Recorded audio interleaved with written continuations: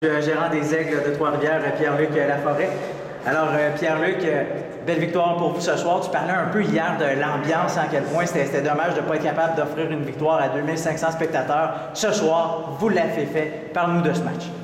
Euh, ben, ça fait vraiment du bien. Ça fait du bien de voir l'équipe qu'on voit sur la route tout le temps à la maison. On a finalement joué de la façon qu'on est capable de jouer. Et puis, euh, c'est une grosse victoire. Ça fait du bien au moral, ça fait du bien à l'équipe. Et puis, euh, je suis sûr que ça fait du bien aux, partisans aussi. On a trop souvent vu la défensive laisser tomber l'équipe depuis le début de la saison, mais ce soir, vous avez accumulé les jeux spectaculaires. Qu'est-ce qui s'est passé? Qu'est-ce que les joueurs ont mangé avant le match? Euh, ben, on a eu une, très, mauvaise, très mauvaise séquence pour une, période, mais euh, dernièrement, on joue très bien en défensive.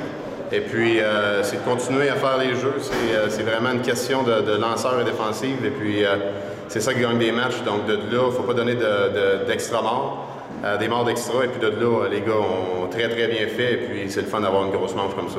Est-ce qu'il y a une fierté supplémentaire à, jouer un match comme ça, particulièrement contre les capitales de Québec, qui sont vos grands rivaux? oui, ça fait tout le temps du bien, mais en même temps, ça fait du bien de le faire à la maison et puis atteindre notre potentiel. Donc, de là, pas parce que c'est contre les capitales, c'est sûr que ça fait du bien contre les capitales, mais en même temps, ça fait du bien à l'équipe parce que ça faisait longtemps qu'on l'attendait ici et puis on espère d'avoir euh, le même momentum demain. Merci beaucoup, Pierre. Merci.